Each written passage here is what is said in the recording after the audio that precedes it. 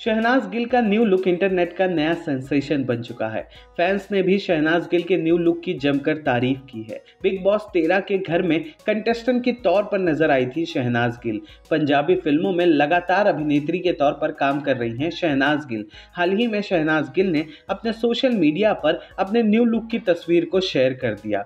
जिसे देखकर शहनाज के फैंस पूरी तरह से सरप्राइज़ हो गए थे। क्योंकि शहनाज को आज तक उनके फैंस ने दो पोनी चोटी और बड़े से चश्मे के साथ नहीं देखा है। और अब अचानक से जब शहनाज गिल ने पोनी और चोटी वाली तस्वीर को शेयर कर दी तो लाजमी है कि फैंस उन्हें देखकर चौंक जाएँगे। लेकिन अब सब ठीक होने लगा है। फैंस ने शहनाज गिल के इस न्यू लुक को एक्सेप्ट कर लिया है और जमकर तारीफ़ कर रहे हैं सोशल मीडिया पर। जाते जाते हम आपको ये बता दें कि शहनाज गिल इस वक्त कनाडा में मौजूद हैं, जो अपने आने वाली फ़िल्म की शूटिंग कर रही हैं। तो हो सकता है कि उनका ये न्यू लुक उनकी अगली फ़िल्म का लुक बन जाए। क्या लगता है आपको? कमेंट करके ज़रूर बताइएगा। टेलीविज़न की तमाम अपडेट्स के लिए हमारे चैनल को इसी तरह से सब्सक्राइब करते रहिएगा।